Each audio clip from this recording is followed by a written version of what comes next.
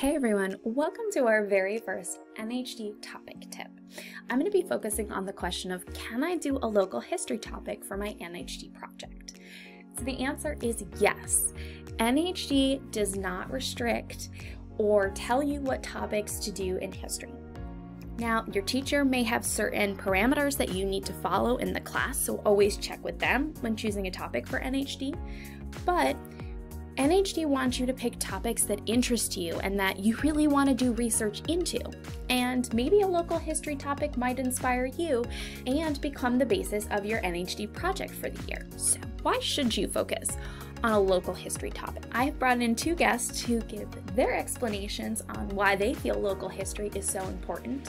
Why study local history? Oftentimes, we think of history as a nationwide or global set of events. However, this mentality is not entirely accurate. History is all around us. It's in the name of your city or street, the location of your favorite park, and the stories told to you by your grandparents. History is everywhere, far and near.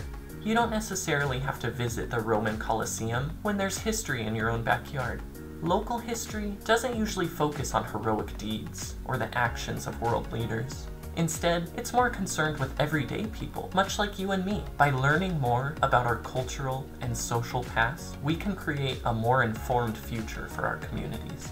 Studying local history allows us to narrow down broad topics. For example, if you wanted to study the New Deal, try to see which New Deal programs operated in your area.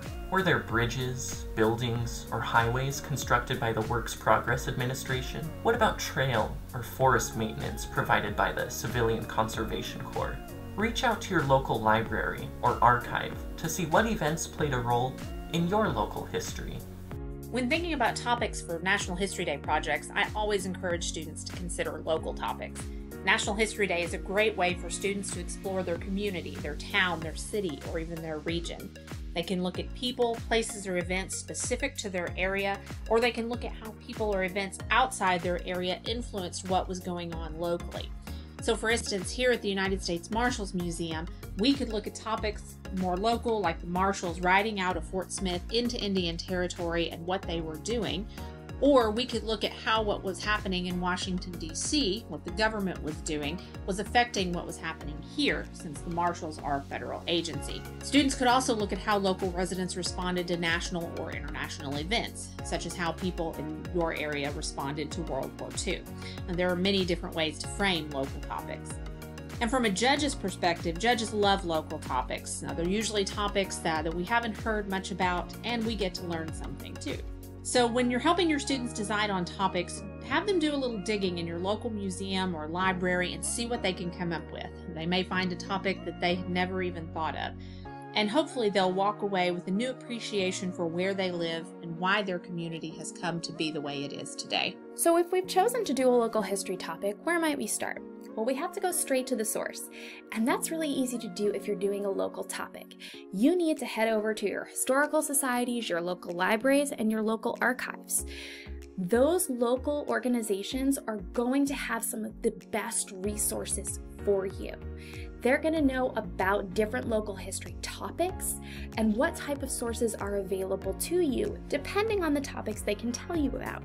So, to give you some food for thought, I thought I'd give my own local history example of how I might do a local history topic for an NHD project.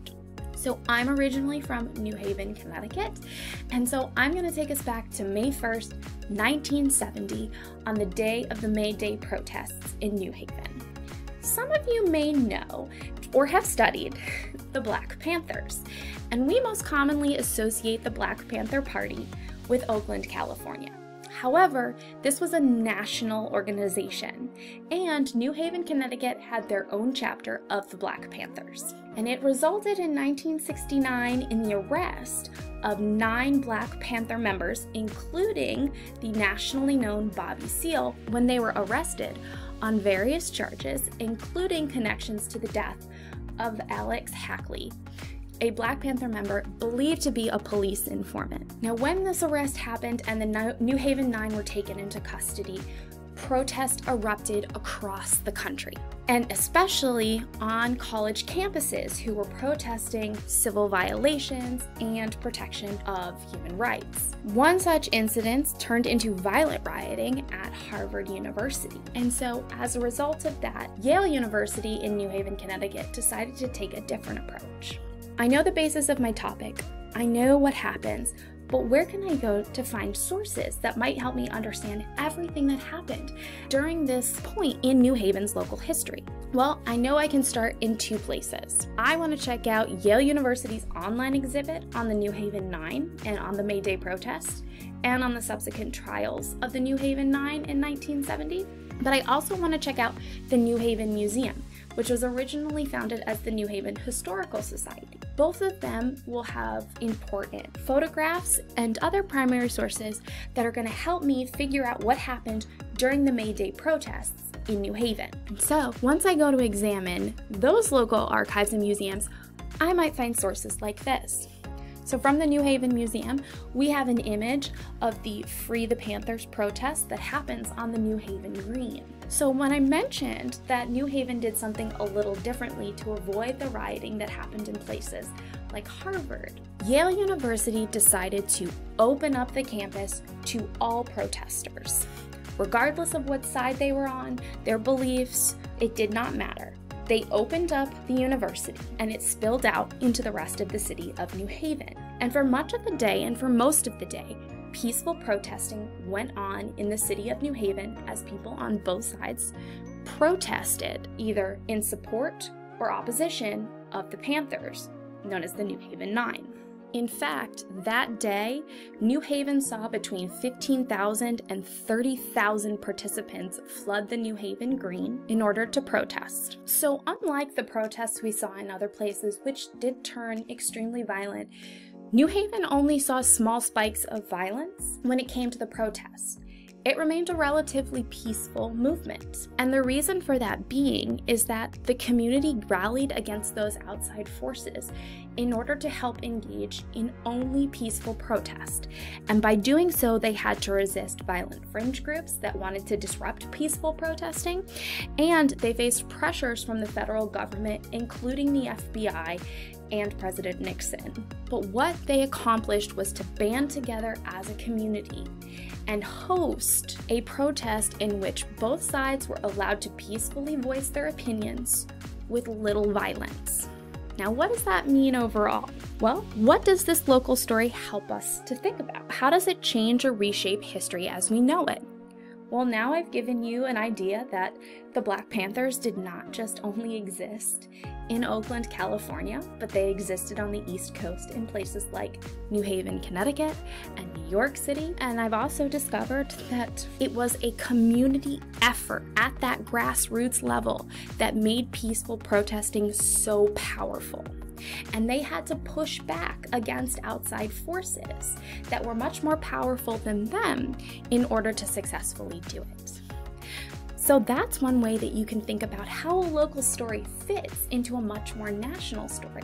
We might also turn our attention to sources that focus on the trial of the New Haven Nine. So, the New Haven Nine and Bobby Seale do manage to come out pretty much unscathed. They're acquitted of all charges. But we see the slow decline of the Black Panther Party following the New Haven Nine trial and subsequent acquittal. So, what does it mean for the overall power and presence of the Black Panther Party? Following this particular event? Does it have a negative impact? Does it slow a national movement down?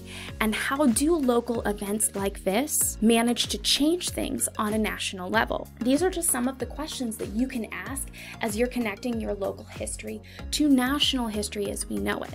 And that's the power of doing a local history project for NHD. Now that you've heard my example of a local history topic, what local stories can you find in your communities that may have reshaped history as we know it?